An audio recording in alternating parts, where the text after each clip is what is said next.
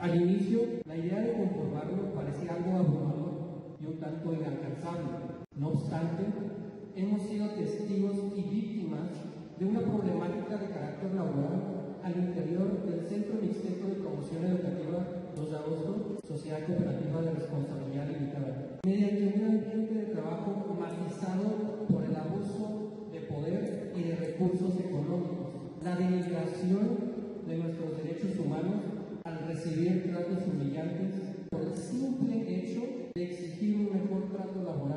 Esto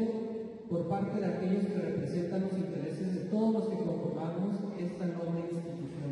Nosotros como personal hemos brindado a lo largo de muchos años compromiso, lealtad y un sinfín de sacrificios a nivel familiar y personal, con el objetivo de ofrecer a nuestros socios un trato verdaderamente humano como lo plasman los valores y principios cooperativistas. Tras un largo periodo de humillaciones,